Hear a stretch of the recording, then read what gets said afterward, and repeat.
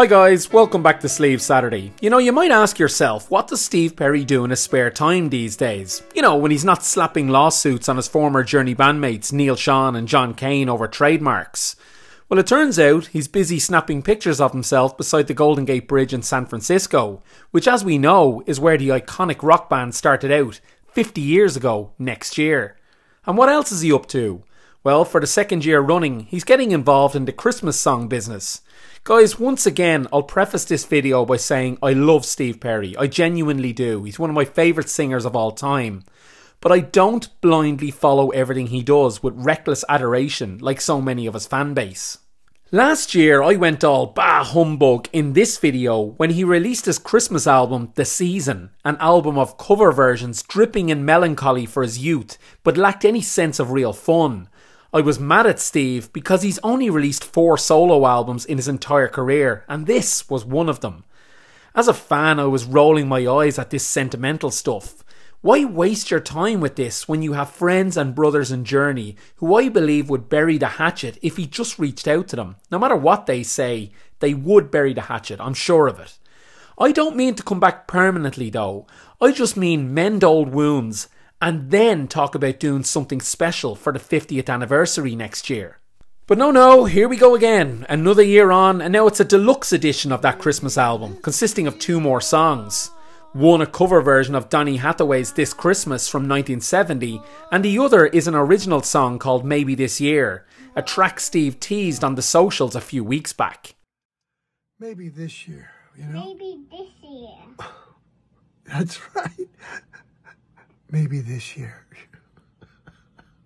Look, Perry's heart is in the right place to be fair. He's harkening back to his youth at Christmas and asking us to do the same. I do get that because we all have a nostalgia for Christmas has gone past and family no longer with us.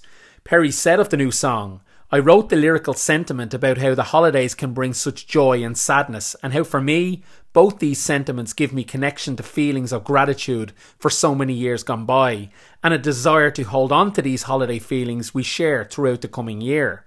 You know, this is all fine and well, but if you're honest with yourself as a fan, is this what you really want from a rock legend? I think Steve knows, now that at 73 years of age, he just doesn't have the voice he once had, and doesn't want to embarrass himself in front of old school Journey fans in a live setting.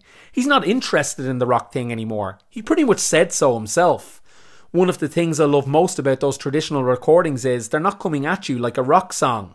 They're just sitting there quietly and inviting you in. I don't think he should be nervous at all about performing live again. Everyone understands we all get older, and sounding the same at 70 is impossible as you did as when you were 30.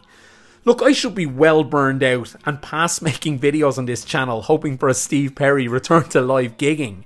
But along with the lawsuits and Christmas songs, he is alienating a section of his fan base.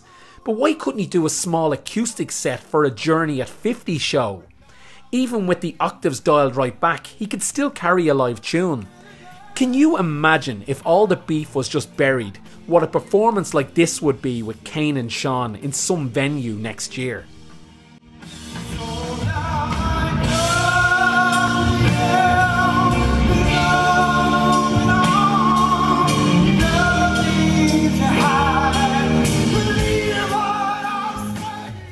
John Lennon went to the grave with unresolved issues with his former friends and bandmates.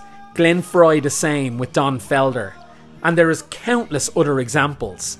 It's not too late for Steve Perry and Journey to put aside all the BS and make it up for Journey at 50 next year. I'm curious though guys, what are your thoughts? Sure let me know in the comments and don't forget to like the video and subscribe to the channel. I'll see you next time.